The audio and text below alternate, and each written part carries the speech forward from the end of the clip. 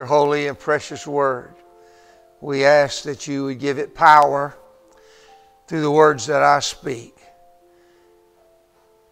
Come, Lord. We gather to learn of you and to experience your presence. We want you to speak to us today, God, to each one of us, deep in our hearts. Come and open your word to us. In Jesus' name, amen. You may be seated. Looks like I'm struggling with throat today. Don't worry about me and don't, you know, don't wince because you think I'm in pain. I'm not in pain. It doesn't hurt. I just have a hard time talking which is not good for a preacher. Well, uh, this is the seventh day of Easter, seventh Sunday of Easter, and it's also Ascension Sunday where we celebrate the ascension of our Lord.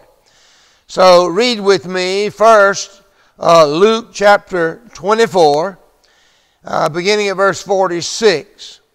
Then I'll move to Genesis, I mean, uh, to Acts chapter 1, 1 through 9. He, that is Jesus, told them, This is what is written the Messiah will suffer and rise from the dead on the third day. And repentance for the forgiveness of sins will be preached in his name to all nations, beginning in Jerusalem. You are witnesses of these things. I'm going to send you what the Father has promised, but stay in the city until you are clothed with power from on high. When he led them out of the vicinity of Bethlehem, he lift, uh, Bethany, he lifted up his hands and blessed them. While he was blessing them, he left them and was taken up into heaven. Then they worshiped him and returned to Jerusalem. And they stayed continually at the temple, praising God. Acts chapter 1, in my former book, Theophilus, I wrote you about all the things Jesus began to do until the day he was taken up to heaven, after giving instructions through the Holy Spirit to the apostles he had chosen. After his suffering, he presented himself to them and gave many convincing proofs that he was alive. He appeared to them over a period of 40 days and spoke about the kingdom of God. On one occasion, while he was eating with them, he gave them this command Do not leave Jerusalem, but wait for the gift my Father promised, which you have heard me speak about. For John baptized with water, but in a few days you will be baptized with the Holy Spirit. Then they gathered around him and asked him, Lord, are you at this time going to restore the kingdom to Israel? He said to them, It's not for you to know times or dates the Father set up on his, by his own authority. But you will receive power when the Holy Spirit comes on you, and you will be my witnesses in Jerusalem and Judea and Samaria and to the ends of the earth. Amen. The resurrection occurred on the first day of the festival of first fruits. Pentecost was held on, the, on 50 days after that day. Verse 3 tells us that Jesus spent 40 days with the apostles before he ascended into heaven. That leaves 10 days. 10 days until Pentecost. He said, just a few days, you're going to receive what the Father promised. They had 10 days to wait. Now, we have only a few verses about those 10 days and what happened then. We know he's. they spent considerable time together in prayer. We know at one time they elected Matthias to take Judas's place as the 12th apostle. That's about it. We can only imagine what went on in their minds when they were alone with their own thoughts. Surely they experienced eager anticipation of the promises that Jesus had made to them. some incredible promises. Just as surely,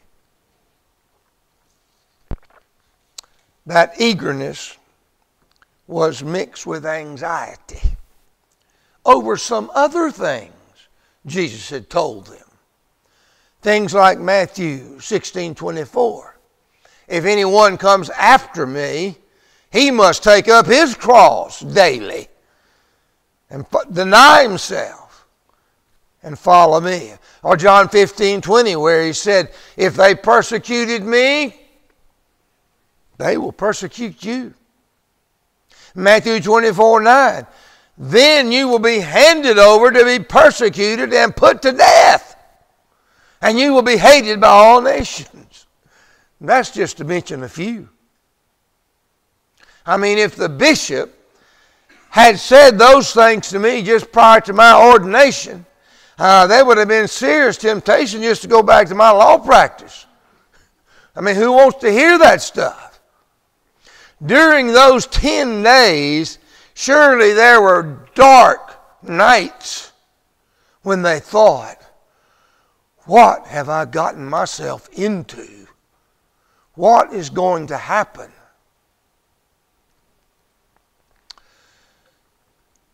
Early on in my ministry, I, I read works and still do of several preachers from the Pentecostal traditions of Christianity. And they wrote about the fact that many people seeking for the baptism of the Holy Spirit that Jesus' promise is going to happen next Sunday. It's Pentecost Sunday. And uh, uh, they would experience what the writers called the dark night of the soul. And that's the title of my message today The Dark Night of the Soul. And actually, even that's something of a misnomer because actually it went more than a night. Sometimes it went several days, a week. I think it may have been a, a similar thing going on with the apostles uh, in those 10 days where, where they were waiting for the promised baptism in the Holy Spirit. Now, those writers are described as struggle deep in the soul. Several of them compared it to the story of Jacob. You remember when Jacob wrestled with God? He was coming back after being off at, with Laban. He had two wives, a family, and he had great herds. And now he's going back to his hometown, and he don't know what his brother Esau is going to do. When, when he left, Esau was mad. And he figured he's still mad. And he's concerned. He left everybody on one side of the brook, he went on the other side, and he was alone. And it says, uh, he wrestled with a man till daybreak. All night long he struggled. And when the man saw that he could not overpower him, he touched the hip, the socket of Jacob's hip so that his hip was wrenched. And he, as he wrestled with the man, the man said, Let me go. It's almost daybreak. But Jacob replied, I will not let you go until you bless me. The man asked him, What is your name? He said, Jacob.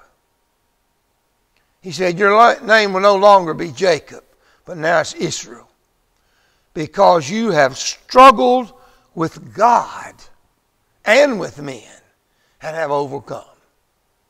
Then he blessed him there. So Jacob called the place Peniel, saying, It is because I saw God face to face and my life was spared. I had a hard time making that association because when I read the New Testament, I understand that spirit baptism is something that God wants. Matter of fact, there's nothing He wants more than His church to be baptized in the Holy Spirit and power. I mean, it's not something we have to wrestle out of God's hands. It's not something we have to snatch away from God. He wants to give it to us. But yet again, I knew those struggles were real. You, you, don't, you don't make that stuff up and write it in a book. You can tell when it's real. Took me a lot of reading to understand why it was such a struggle. The struggle is not getting something from God, but giving up one's self to God. We don't want to give up ourselves. I know I didn't, don't. Well, I mean, we're, we're, we're taught to live under the control of your mind. You know what you do. Not to just have God tell you to do something and you do it. I know the man that led me to the Lord, Jim Kilgo, we, we used to talk about it a long time whether or not you got to give up your will to God. And he didn't think you did. But later on, he changed his mind. Remember with me again the Lord's the words of our Lord Jesus in Luke 14 33. In the same way, any of you who does not give up everything cannot be my disciple. Or Luke 14 26, this is in the message translation. Anyone who comes to me but refuses to let go of father, mother, spouse, children, brothers, sisters, yes, even one's self cannot be my disciple. You know, even Jesus had something of a dark night of the soul, didn't he? In the Garden of Gethsemane.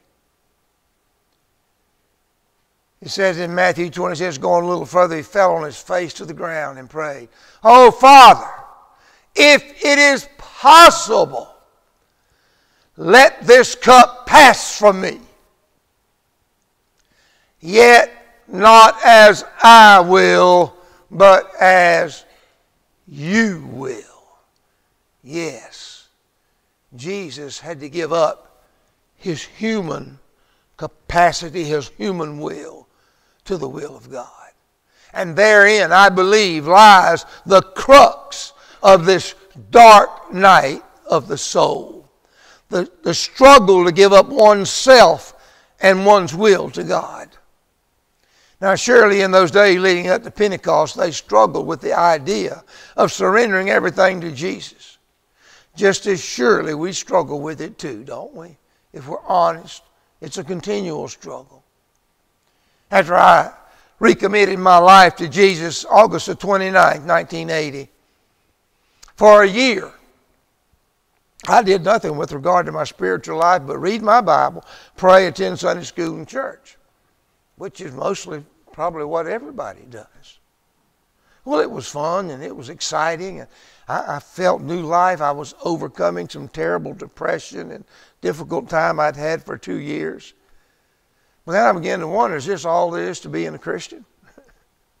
I, I was, what, what, what, am I supposed to do with my life? I'm just not supposed to just live it and go to church. I, just, I need to be doing something.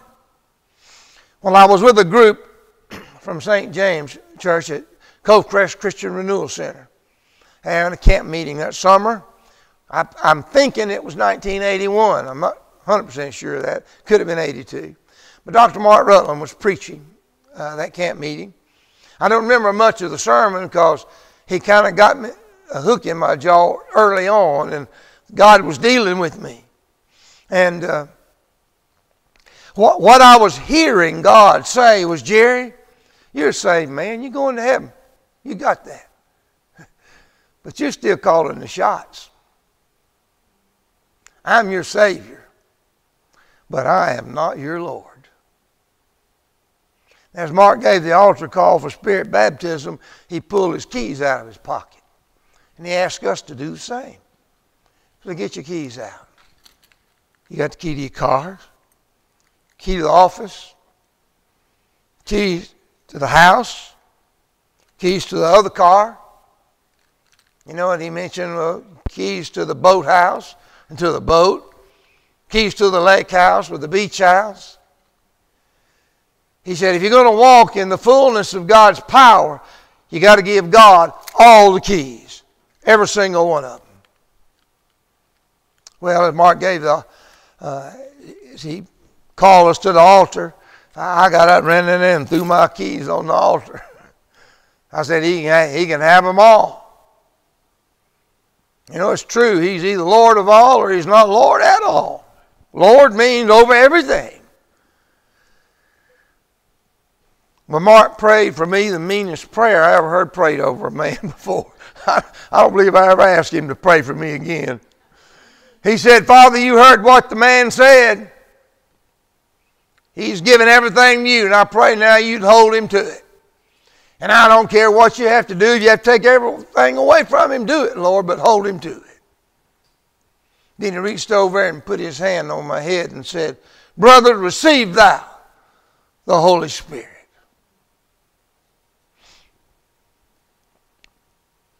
I didn't speak in tongues that night. But when I left that altar, I knew something was different. I knew that I had set myself on a course from which I could never retreat.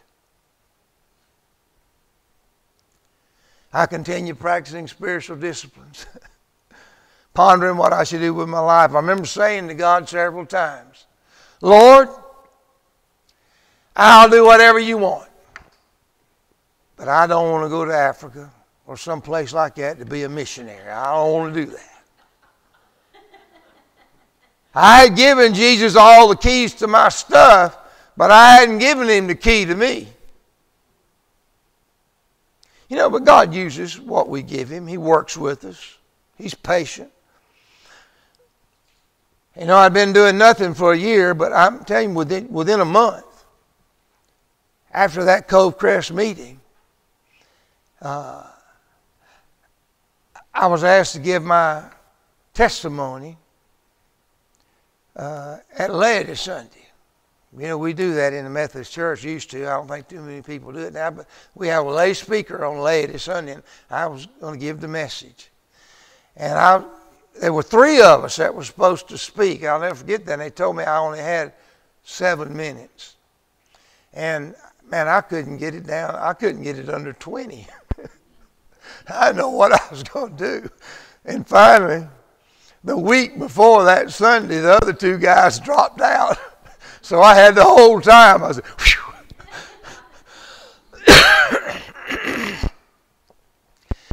then I was asked to chair the evangelism committee at the church and teach the high school Sunday school class.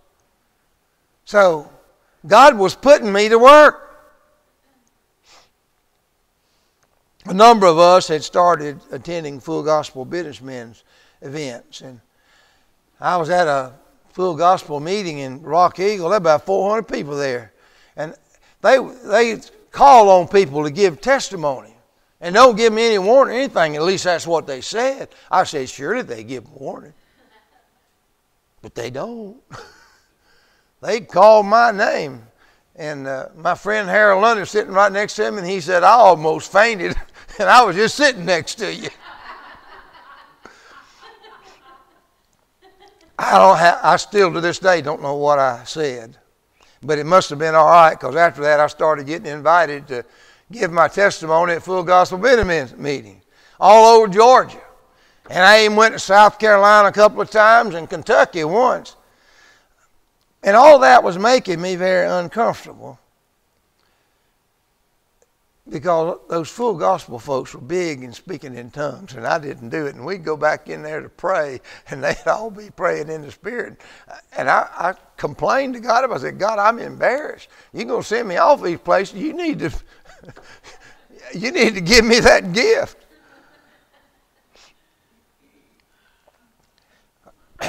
Well, it wasn't long after that I went to a Methodist men's retreat at Rock Eagle.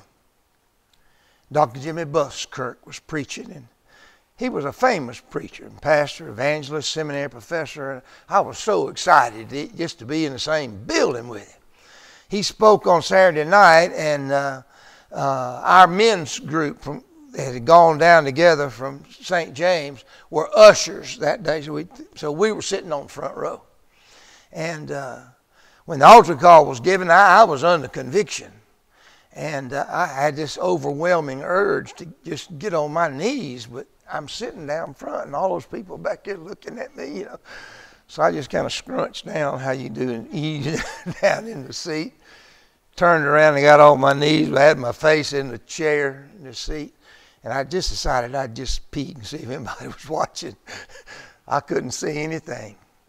It looked like the room was empty. God was moving, and the whole place were on the, they were on their knees on the floor. Dr. Buskirk was calling people to come to the altar to get saved and filled with the Holy Spirit. And he'd talk to them a while, then he'd drop the phone and he would pray in the Spirit, praying in tongues. And I could hear him.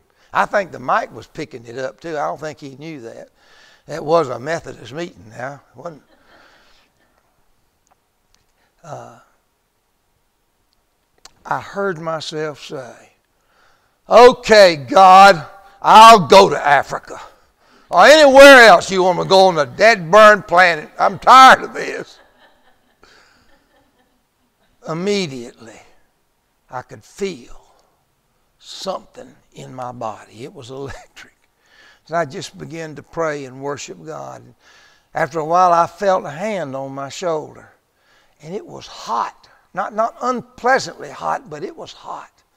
And I could just feel that heat rush through my body. I was just lost in prayer when I heard a voice say, Can I pray with you about something? And it sort of, you know, when he spoke to me, I sort of came to myself and I realized I was praying in a language that I did not know. And I thought and thought about that. I said, you know, I know I was baptized in the Holy Spirit at Covecrest, but you know what it was? God wanted to wait to that Methodist meeting. so the next time I went to full gospel, they called me up on the stage to give a testimony again. And I walked up there and I said, and I told them that story. I said, it happened right here in this auditorium. But it wasn't at a full gospel meeting, it was a Methodist men's meeting. And God just wanted me to tell you this to make sure you understand that you Pentecostals don't have locks on the Holy Spirit. Everybody laughed and we enjoyed it. But that night, you see, I surrendered everything. I had given God all my stuff, but I hadn't given Him me. I hadn't given Him my will, and it was my will that controlled my tongue. You get it? You got to give it all to Jesus. All to Jesus I surrender.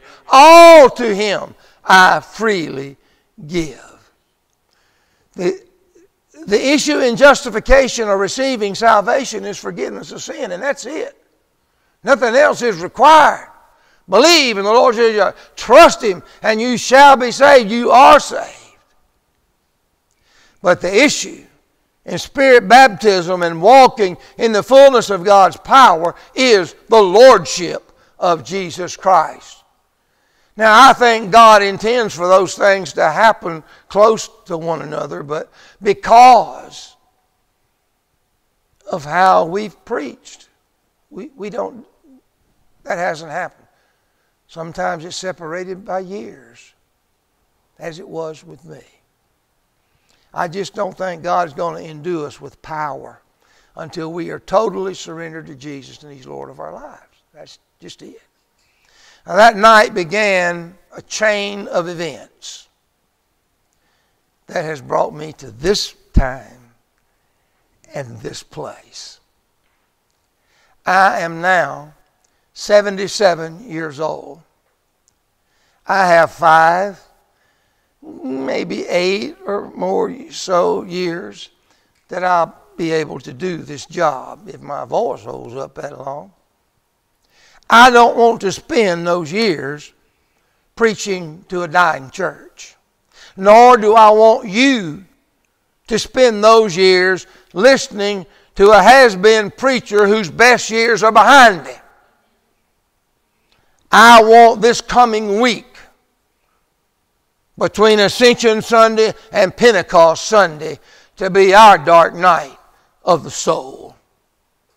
And let us struggle to give up our stuff and give up ourselves and surrender our will to God as we expectantly look forward to the day of Pentecost and the empowerment of the Spirit to be the people of God, to go into all the world and make disciples of all nations. That's what we're supposed to be doing. And let us get active in witnessing to our neighbors and inviting them to church and filling up all these pews, you know. Dr. Fauci says we can take these strips off of here and take off the mask, and we can go back to doing normal stuff if we've been fully vaccinated. So maybe we ought to get some vaccines and hold them at the door there. I want to see the church grow. I want to see me grow. I want to see the power of God moving among God's people. And I believe and have preached with all my heart and might that will happen when we are surrendered to Jesus, our stuff and ourselves. And He's truly the Lord of our lives in this church. Now, the text for next Sunday, Pentecost Sunday, is Acts chapter 2, verses 1 through 11. Acts chapter 2, 1 through 11. And I'm asking all of us to read it every day and pray that what happened that day in Jerusalem 2,000 years ago will happen here next Sunday. Let this next week be our dark night of the soul. And let us be struggling with ourselves to give up ourselves to God so He can fill us, equip us, and empower us to be His people in the world. Let's pray.